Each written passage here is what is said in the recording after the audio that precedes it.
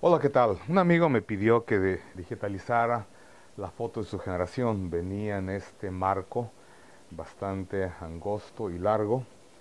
Eh, así que eh, después de sacar, remover los clavos que tenía, quitar el papel, saqué la foto, pero me encontré con el problema de cómo voy a gi- digitalizarla si no tengo un stand copiador. Esto es lo que se me ocurrió. Pueden ver algunos ejemplos de stands copiadores. Van desde 180, 200, 800, 1500 dólares, lo cual es demasiado dinero para algo que se va a hacer pocas veces. Una solución más barata. Hace poco puse pisos de madera en mi casa y me sobraron algunos de estos pedazos de madera de roble. De un lado tienen una lengüeta, otra parte tiene una ranura donde encajan. La parte de la ranura las puse encontradas para en su interior poder poner la fotografía.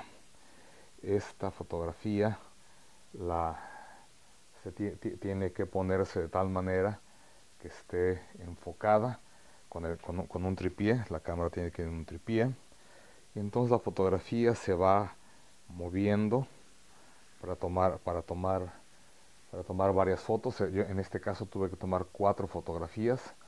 Es importante siempre dejar ah, un centímetro, centímetro y medio de la fotografía. Una- en este caso fue una persona. eh, para, me fijé en la parte de abajo, por ejemplo, la primera fotografía.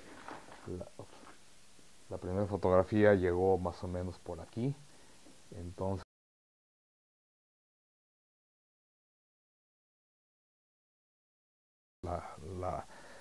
los resultados.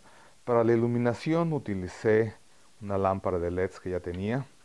Eh, no la puse dirigida directamente hacia la, hacia la foto, puesto que es demasiado reflejo.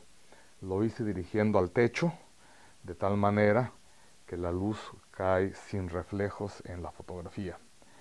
Eh, de esta manera solucioné.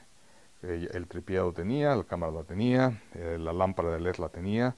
Pueden utilizar la luz, luz de día, pueden utilizar alguna, alguna cosa de aluminio.